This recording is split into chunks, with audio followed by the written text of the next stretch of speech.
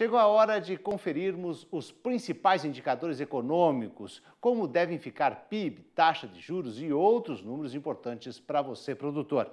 Vamos destacar também a expectativa para o lançamento do Plano Safra, que deve acontecer amanhã aqui em Brasília. E quem traz essas informações é a repórter Camila Queiroz. Bom dia, Marcelo. Eu estou aqui como coordenador do Núcleo Econômico da CNA, Renato Conchon. Bom dia, Renato. Na última semana, diversos indicadores da economia foram divulgados, e alguns com resultados positivos. Isso é um sinal que a economia nacional está saindo da recessão? Olá, Camila. Bom dia a todos. Não, ainda é cedo dizer, embora os últimos resultados tenham sido divulgados de uma forma bastante positiva, o destaque foi o crescimento do PIB, e aí dentro desse destaque o crescimento do PIB da agropecuária é bastante substancial, na ordem de 13%, isso não reflete que a economia está saindo da recessão.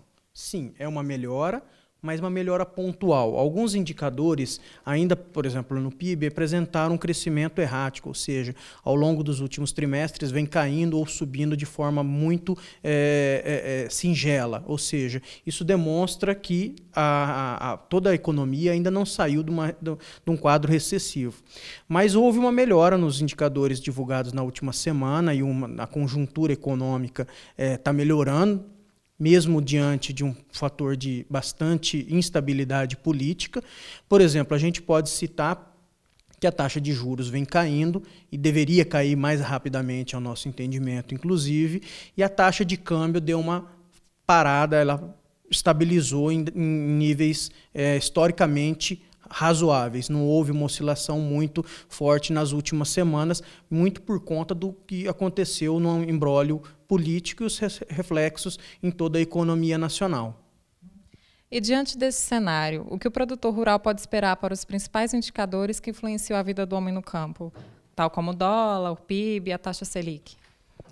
Olha, Camila, no que se refere a PIB, a gente está estimando que tem um crescimento um pouco mais moderado para a PIB Brasil, isso diante da instabilidade política que vem trazendo, é, mas principalmente é, no setor agropecuário a gente vê um crescimento, uma projeção de crescimento muito robusto. A CNA está projetando que ao final de 2017 o PIB da agropecuária se encerra em torno de 9%. Isso é bastante significativo diante da projeção do PIB Brasil, que nós estamos prevendo um crescimento bem mais modesto, na ordem de 0,5%. Para o câmbio, a gente espera um, um real frente ao, ao, dólar na casa dos 3,25 a 3,35 ao final do período. Isso dado a oscilação ao longo do próximo do, do, desses seis meses até o encerramento de 2017.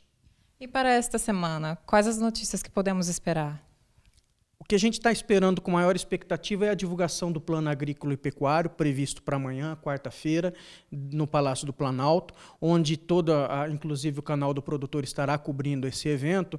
Mas o que mais a gente está esperando como um, uma notícia muito importante para o setor é a divulgação das taxas de juros que serão aplicadas no Plano Agrícola e Pecuário 2017 e 2018, assim como ah, o volume de crédito disponibilizado ao produtor rural e principal, principalmente quais são as, serão as linhas de investimento prioritárias que o governo estará priorizando em volume e em taxas de crédito para todo o produtor rural brasileiro para a próxima safra.